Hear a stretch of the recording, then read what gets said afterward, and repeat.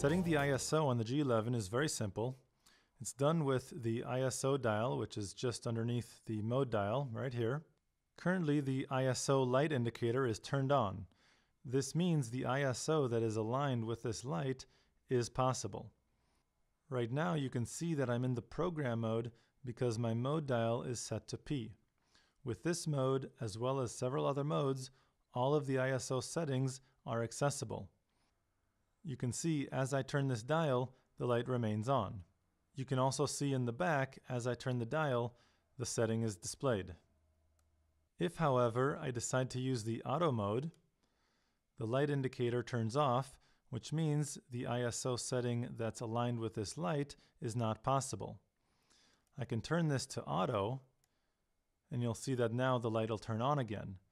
Basically, I can have this ISO dial set to anything, but only auto is actually possible in the auto mode. So it doesn't really matter where the ISO dial is left at, because in the auto mode, as well as several other automated modes, the ISO is set to automatic regardless of the dial's position.